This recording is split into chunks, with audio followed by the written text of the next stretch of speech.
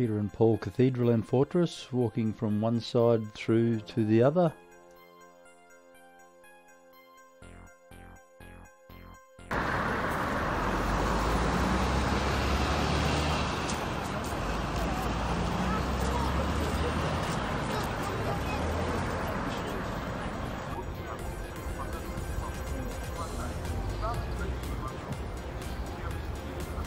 Uh, this is another point for picking up the uh, boats for taking the canal cruises. The hop-on hop-off buses are a great way to get around St Petersburg. Looking up the street on the right hand side is the military museum and on the left hand side Peter and Paul Fortress.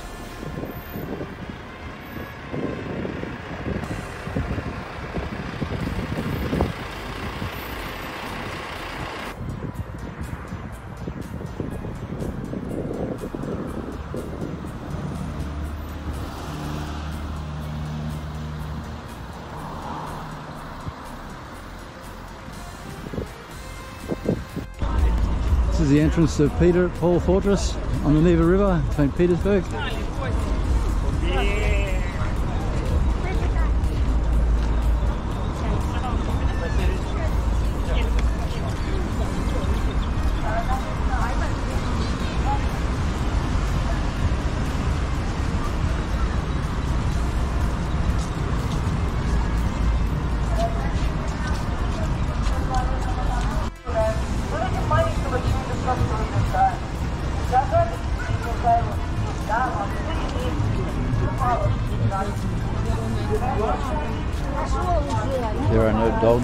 Scooters allowed across this bridge and anywhere in the fortress.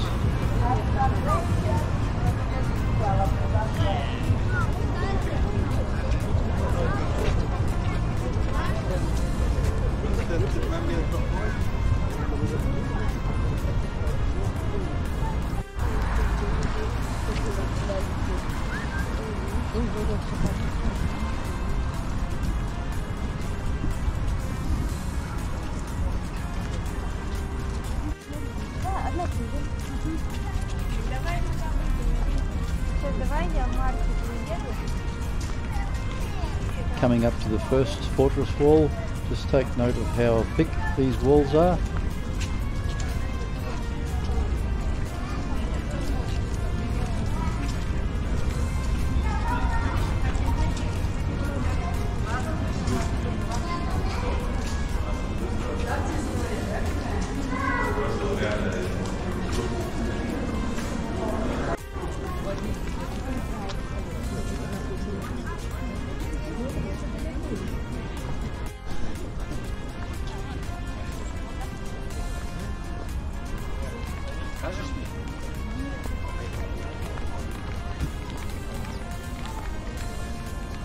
Uh, there is about a 100 metre strip to get to the inner fortress wall.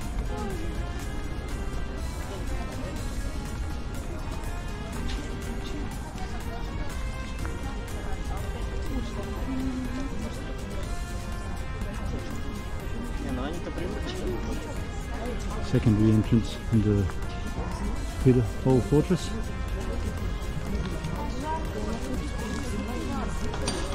Peter the Great, or Peter First, was the Tsar of Russia who reigned as emperor. He was known as Peter the Great not by his achievements, although he did instigate a lot of these amazing architecture and buildings in St. Petersburg, but he was 203 centimetres tall, which gave him the name Peter the Great.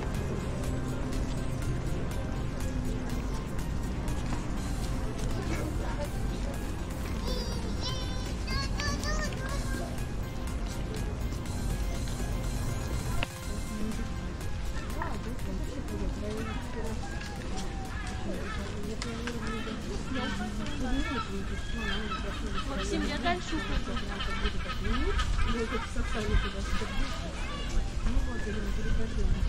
You're probably starting to get an indication already how large this fortress is inside.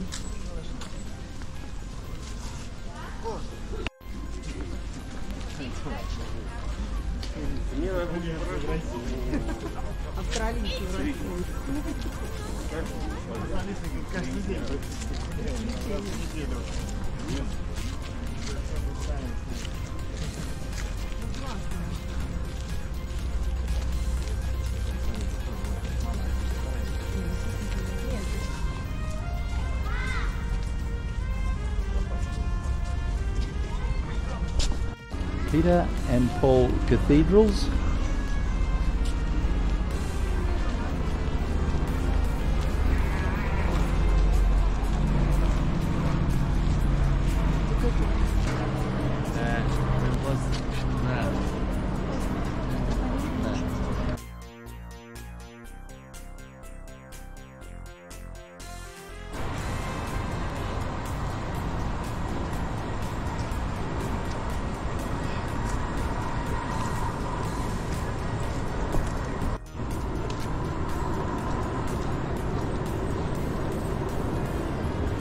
That's the steps leading up onto the wall around the fortress on the Neva Riverside.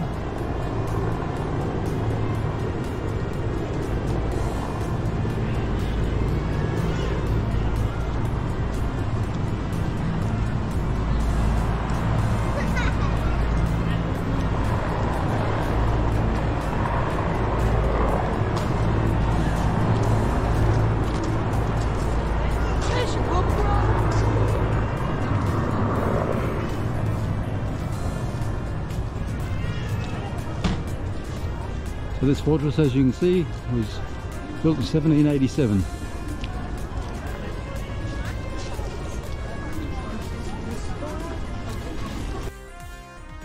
This part of the fortress was built in 1787. I noticed on the entrance coming from the other side, it's got 1740 on it.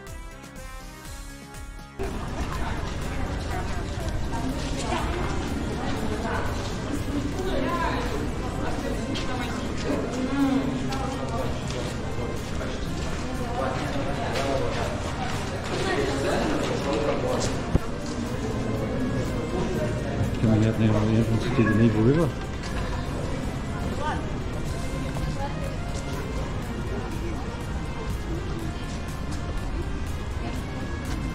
Now those large windows you can see in the wall used to be the cannon emplacements.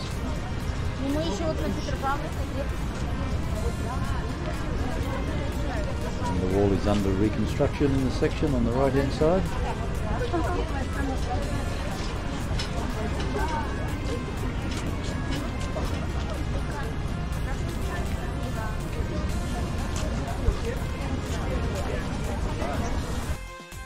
Uh, there is large sand sculpture competitions that are held on the beaches on the Neva River outside of the fortress.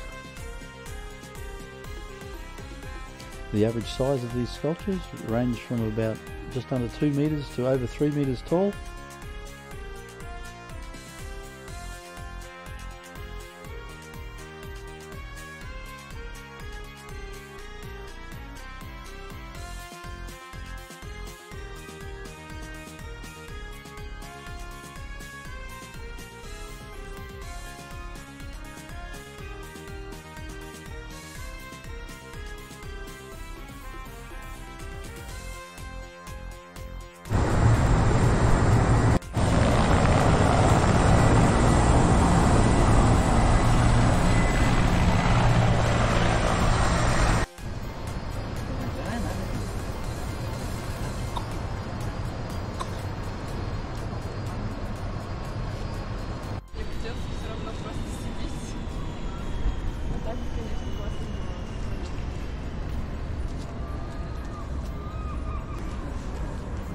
Definitely a very impressive space.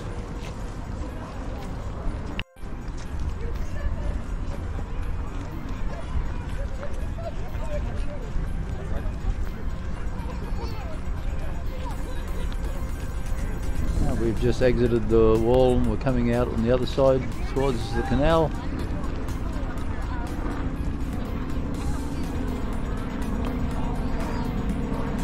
Tourist helicopter rides.